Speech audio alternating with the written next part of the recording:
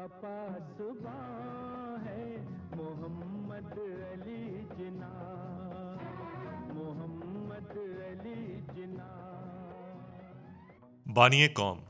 कायद अजम मोहम्मद अली जिन्ना 25 दिसंबर 1876 को कराची में पैदा हुए। बाबा कौम ने इब्तदाई तालीम, सिंध मदरसतुल इस्लाम से हासिल की और मैट्रिक का इम्तहान जामिया मुंबई से पास किया। बाद अजा आला तालीम के हसूल के लिए लंदन रवाना हो गए। कायद अजम ने अठारह में लंदन की यूनिवर्सिटी से सिर्फ़ 19 बरस की उम्र में कानून की सनद हासिल की और कम उम्र तरीन हिंदुस्तानी कानूनदान होने का एजाज हासिल किया। कुछ बरस बाद कायद अजम मोहम्मद अली जिना ने हिंदुस्तान वापस आकर बाकायदा तौर पर वकालत का आगाज़ किया, जहाँ इनका शुमार बर सग़ीर के नामवर वकला में किया जाने लगा।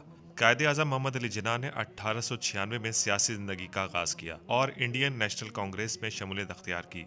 लेकिन कुछ अरसे बाद कायद अजम मोहम्मद अली जिना को यह एहसास हुआ कि कांग्रेस सिर्फ़ हिंदुओं की नुमाइंदा जमात है, जहाँ मुसलमानों से इम्तियाजी सलूक बढ़ता जाता है। कायद अजम मोहम्मद अली जिना मुसलमानों की वाहिद नुमाइंदा जमात, ऑल इंडिया मुस्लिम लीग में शमूलियत अख्तियार की और यहाँ से मुसलमानों के लिए अलहदा वतन की तहरीक का बाकायदा आगाज़ किया। ऑल इंडिया मुस्लिम लीग में शमूलियत के बाद कायद अजम ने अपने शब रोज़ मुसलमानों के सियासी शूर में बेदारी के लिए वक्फ कर दिए। बिलाखिर कायद अजम की जदोजहद रंग लाई और चौदह अगस्त उन्नीस सौ सैतालीस को बर सग़ीर के मुसलमानों का अलहदा वतन का ख्वाब शर्मिंदा ताबीर हुआ, जिसका नाम पाकिस्तान रखा गया। आज़ादी के बाद कायद अजम मोहम्मद अली जिना की तबीयत नासाज रहने लगी और कई बीमारी से लड़ते हुए क्याम पाकिस्तान के सिर्फ़ एक साल बाद 11 सितंबर 1948 को मिलत का पासबान कायद अजम मोहम्मद अली जिना दारफानी से कूच कर गया। लेकिन रहती दुनिया तक ये कौम अपने अजीम कायद मोहम्मद अली जिना की एहसान मंद रहेगी।